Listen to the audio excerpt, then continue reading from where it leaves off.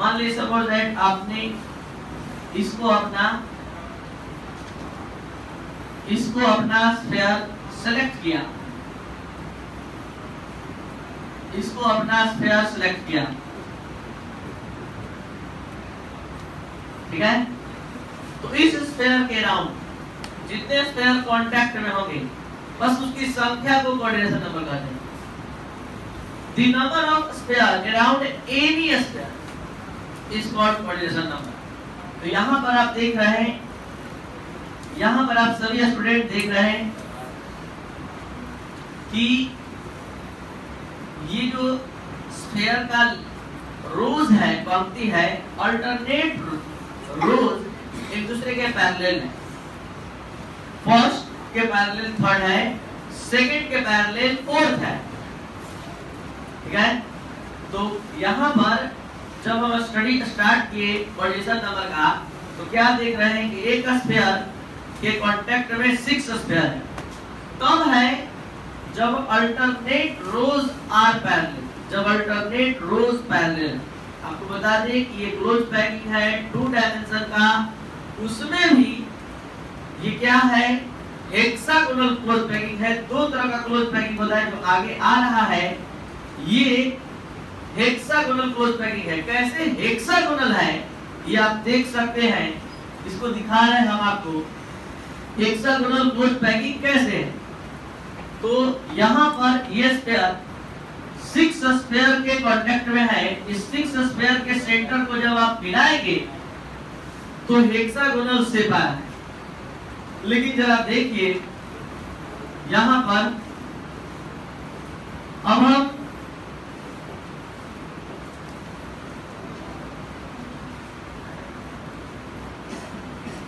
यहाँ पर देखिए हम जो रोल ले रहे हैं स्पेयर का वो सभी रो एक दूसरे के पैरेलल ले रहे हैं। सभी रो एक दूसरे के पैरेलल है। सभी रोज एक दूसरे के पैरेलल हैं। तो देखा जाए एक स्पेयर पर एक स्पेयर सब हो जाएगा कहिए। कितने स्पेयर के को टच कर रहा है? तो इसको टच कर रहा है इसको और इसको। ठीक है? यानी कि एक अप एक डाउन में एक लेफ़्ट में एक राइट तो इसका कोऑर्डिनेशन नंबर क्या होगा? फोर होगा। लेकिन इसके सेंटर को अगर आप मिलाएँगे, इसके सेंटर को मिलाएँगे तो देखिए क्या बन रहा है। स्क्वायर इस क्लोज पैकिंग का नाम है स्क्वायर क्लोज पैकिंग जो आगे आ रहा है क्लोज पैकिंग तो ये टू डायमेंशन में आप कोऑर्डिनेशन नंबर का स्टडी किए तो यहाँ बताने के लिए रहे हैं। सिक्स और यहाँ बताने के रहे हैं फोर और अगर वन डायमेंशन में हम बात करें तो आप अच्छे से नॉलेज रखते हैं कि वन डायमेंशन में अगर इसके आगे और पीछे, बस, दो होगा। समझ रहे हैं? यहाँ पर कोऑर्डिनेशन नंबर केवल टू होगा। लेकिन अगर हम थ्री डायमेंशन में बात करें थ्री डायमेंशन में बात करें थ्री डायमेंशन में अगर हम बात करें थ्री डायमेंशन में अगर हम यहाँ थ्री डायमेंशन में यानी कहने का मतलब क्या है? कहने का मतलब है कि जैसे ये देख रहे हैं, ये first row second row third row fourth row तो ये पूरा को हम एक लेयर कहेंगे लेयर एक एटम का लेयर है। और ऐसा ही फोर रो का लेयर उठाकर इस पर रख दिया। यानी कि लेयर के ऊपर लेयर फोर रोज है, उसके ऊपर फोर रोज आ गया यानी एक लेयर और आ गया। तो उसमें अब लंबाई, चौड़ाई, ऊंचाई मतलब लेंथ ब्रेथ और हाइट दोनों आ गए। लेंथ विड्थ और हाइट दोनों तीनों आ गए। तो अब क्या कहेंगे? थ्री डायमेंशन में आए। तो थ्री डायमेंशन में लिखिए ये थ्री डायमेंशन ये अब यहाँ देखिए बीसीसी में एक स्फीयर कितने स्फीयर के कांटेक्ट में है? चार ऊपर, चार तो यहाँ कोऑर्डिनेशन नंबर आप सभी स्टूडेंट स्पष्ट देख रहे हैं। कोऑर्डिनेशन नंबर क्या होगा? तो एट बस सीधा साधा लिखना the number of sphere around any sphere, किसी स्फीयर के अराउंड जितने स्फीयर होते हैं, उसकी स्ट्रेंथ आपको क्या कहते हैं? कोऑर्डिनेशन नंबर जो आप समझ सकते अब आपका पढ़ाई आज का length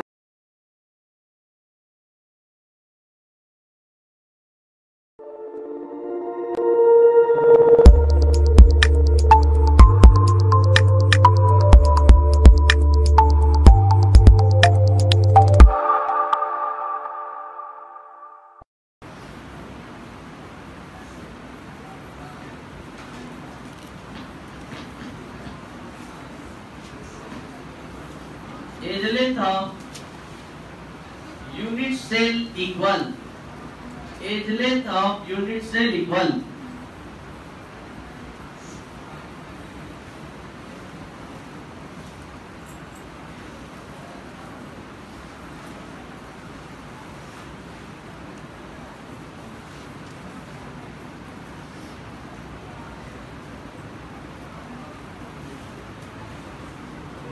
calculation of density of क्या है? Area of unit cell equal क्या लिखे? ए इक्वल ए और नीचे लिखे and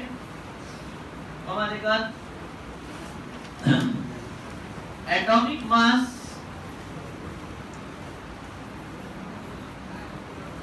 of element equal M and total number of atom total number of atom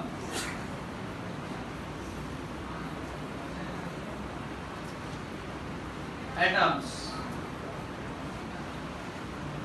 equal Z ये पूरा लिख लेंगे सब आंसर ध्यान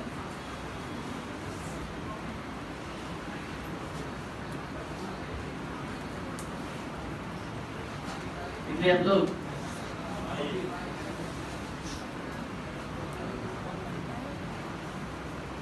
क्या है? एज लेंथ ये क्या है?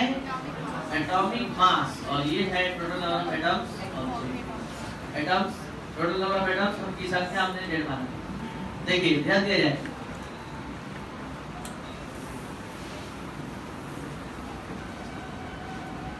पूरा कैलकुलेशन शुरू से अब तक आप अच्छे से समझ लीजिए डेंसिटी ऑफ़ यूनिट से तब आप लिखना स्टार्ट करेंगे। लेकिन उससे पहले आपको बता दें कि इसमें कुछ बेसिक कॉन्सेप्ट यूज़ होने जा रहा है। कॉपी के पीछे कुछ लिखवाए थे पिछले क्लास में। कॉपी के पीछे लिखिए कॉपी के पीछे जो लिखा रहेगा वो बेसिक कॉन्सेप्ट होगा, जो 11th क्लास का होगा, जहाँ पर कुछ कमी है, तुरंत पीछे आपको पढ़ाया जाएगा। और क्लास 11th का ये कॉन्सेप्ट है कॉपी के पीछे उसी कॉपी पर रहेगा। हमेशा आगे इलेक्ट्रोकेमिस्ट्री में भी इसी तरह का कॉन्सेप्ट दिया जाएगा। तो लिखिए कॉन्सेप्ट लिख कर डैश कॉपी के पीछे लास्ट पेज से शुरू होगा, इधर तक आएगा। कॉन्सेप्ट लिख कर डैश जा सकते हैं आप।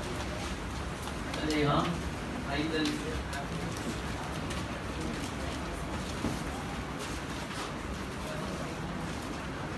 बंद करना था।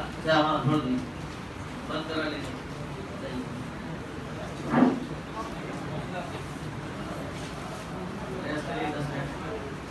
calculation of density of unit cell अच्छा इसको लेके जाएँगे ना सभी लेकर जाएँगे तो लेके जाएँगे।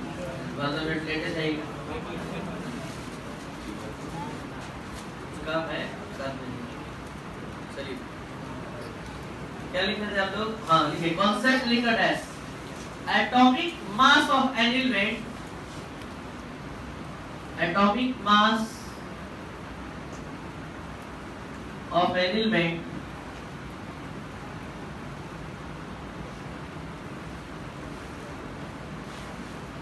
ब्रैकेट में दीजिएगा कॉस्ट में in gram.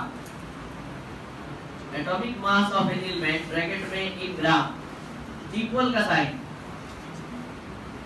6.022 हम ब्रैकेट बंद कर दीजिए ग्राम के बाद. इक्वल का साइन देकर 6 point percent 6.022 into 10 power 23 atoms. Atoms. हो गया? अब जरा समझ आए क्या लिख दिया? ये है इस पीरियोडिक टेबल में स्थित एलिमेंट जो आपके नज़र के सामने है। एक बार में सारे एलिमेंट उपस्थित है। किसी भी एलिमेंट का सपोज़ दैट आप सभी को सोडियम का एटॉमिक मास याद होता है। 23 तो अगर सोडियम का बात करते हैं 23 ग्राम सोडियम लेने पर 6.022 10 पावर 23 एटम होगा अगर सपोज़ दैट मैग्नीशियम का बात कर रहे हैं, या फिर कैल्शियम का बात कर रहे हैं तो कैल्शियम का एटॉमिक मास कितना होगा जी तो जिस एलिमेंट का एटॉमिक मास का बात होगा उसमें एटम की संख्या 1 मोल की इक्वल होगी, और 1 मोल इक्वल क्या होता है, आप अच्छे से जानते हैं। 6.023 होता है। अगर ये समझ में नहीं आया तो आज का पूरा पढ़ाई चल जाएगा सब कुछ इसी पर है। इसीलिए टाइम दे रहे हैं, अलग से समझा रहे हैं, जो नहीं पढ़ा रहे जान तो 23 ग्राम सोडियम में इतने एटम है कैल्शियम के लिए बात 40 ग्राम हो जाएगा, और अगर हीलियम के लिए बात करें हीलियम का कितना है? 4 ग्राम बोल दीजिए।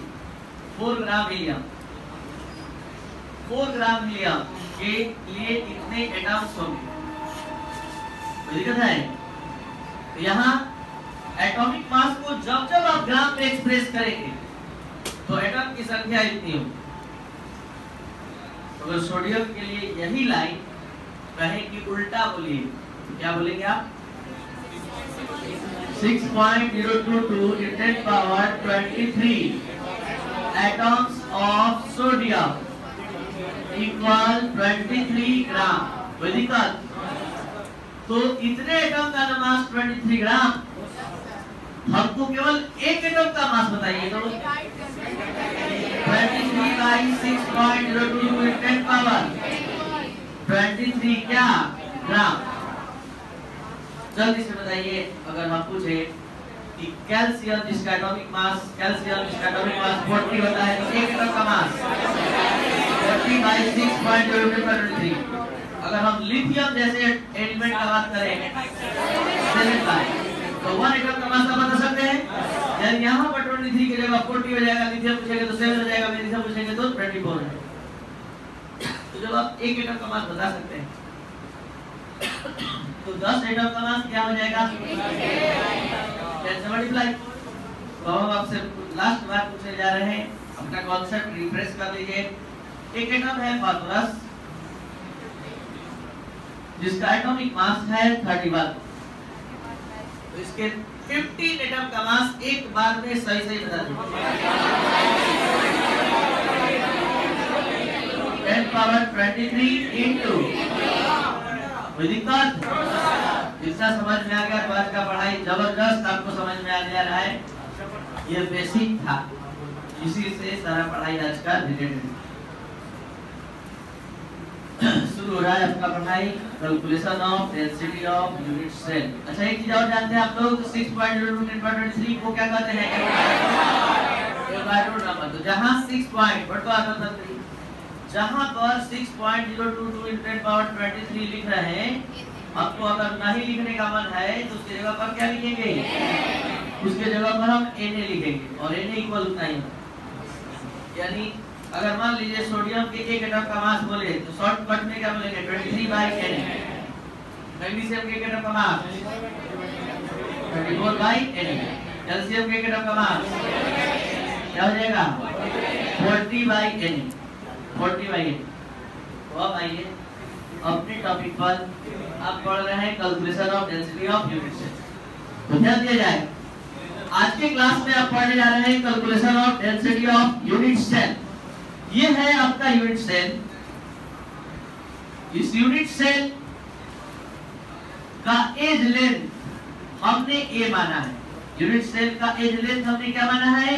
ए ये है एज लेंथ ए हमको नहीं पता है कि यूनिट सेल एफसीसी है कि बीसीसी है कि ईसीसी है. हमको पता नहीं. अगर हम मान लें कि एफसीसी तो एटम की संख्या कितनी होगी? 4 बीसीसी हो, मान ले. 2 ईसीसी मान ले.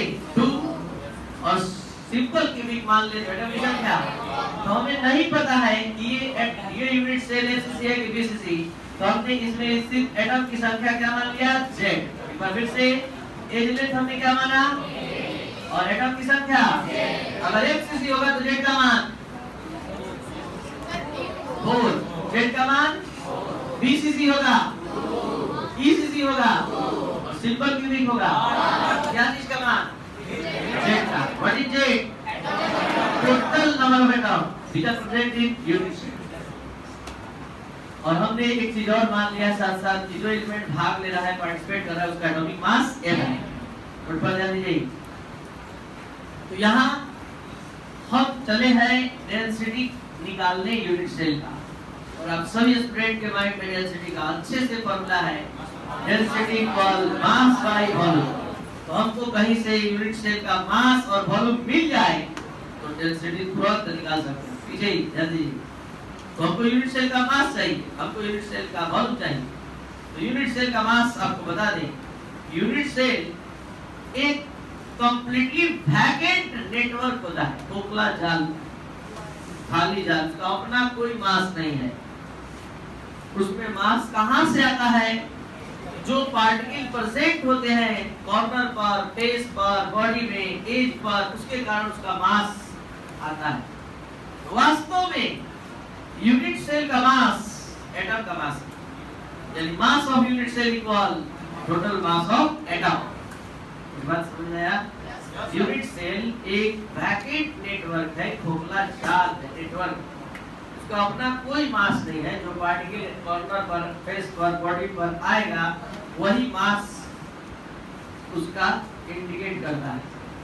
तो हमको एकक सेल का मास निकालना है तो यूनिट सेल का मास निकालना है तो हम पूरे एटम के मास को कैलकुलेट कर देंगे। और जो एटम का मास आएगा, वही यूनिट सेल का मास होगा। तो आप सभी के पास इतना कैपेसिटी हो चुका है कि पूरे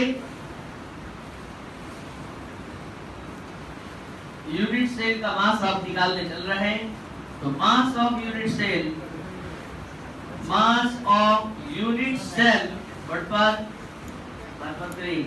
यूनिट सेल का मास निकालना है तो mass of one atom into total number of atom mass of one atom निकालने का कैपेसिटी आप लोगों दे चुके हैं। एलिमेंट इस, जो एलिमेंट है, उसका एटॉमिक मास है तो एक एटम का मास m by n है तो मास ऑफ़ वन एटम हो गया, और into total number of atom तो ये एक बार में आप यूनिट सेल का मास निकाल लिए कैसे निकाल लिए तो यूनिट सेल में एक एटम का मास कैसे निकाल लिए था जल्दी? क्योंकि एलिमेंट का हमने एटॉमिक मास m माना था। तो m को एक वर्ड नंबर से भाग दे दिए तो वन एटम का मास हो गया। और हमको पता नहीं है कि FCC है अगर FCC होता तो इनटू 4 PCC होता तो 2 ECC होता 2 ये हमको पता नहीं है तो हमने एटम से ले लिया तो ये गया total mass of unit cell चलिए वॉल्यूम ऑफ़ यूनिट सेल जो आप एकदम तुरंत बता सकते हैं लेंथ क्यू ठीक है? तो ये है डेंसिटी का फॉर्मूला यानी डेंसिटी ऑफ़ यूनिट सेल ये है मास ऑफ़ यूनिट सेल ये है volume of unit cell putting the value of equation 2 and 3 equation 1 equation two और थ्री का वैल्यू इक्वेशन वन में रखने पर? क्या होगा?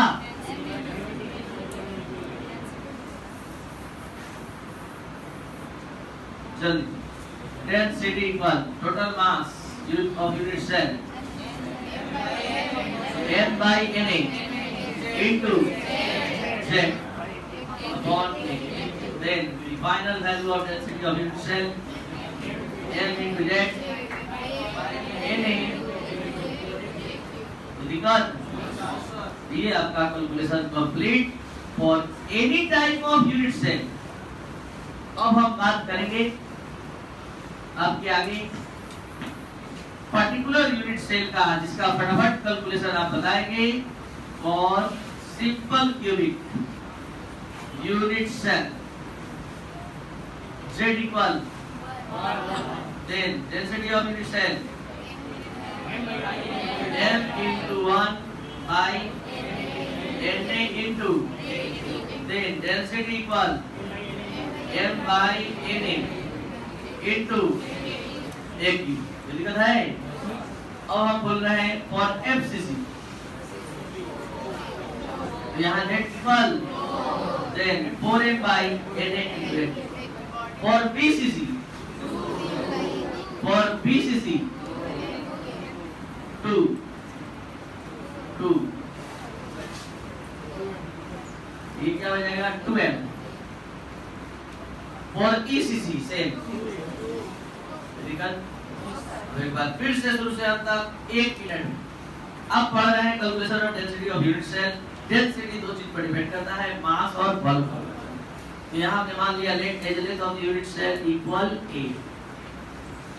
and the total number of which are present in this type of unit cell equal z and the atomic mass of the element equal m the unit density of unit cell equal mass of unit cell upon volume of unit cell mass of unit cell equal mass of unit cell equal mass of one atom into total number of atom mass of one atom m by n in total number of atom z और उसके बाद volume of unit cell equal 1 के दोनों का ratio लगा दिए density आ गया। Density आने के बाद for different types of unit cell z equal 1 for simple cubic for FCC z equal 4 for bcc 2 BCC 2 दिक्कत अच्छे से